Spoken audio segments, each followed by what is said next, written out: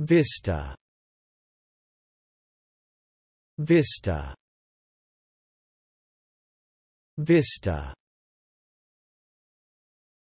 Noun Definition a pleasing view, especially one seen through a long, narrow opening.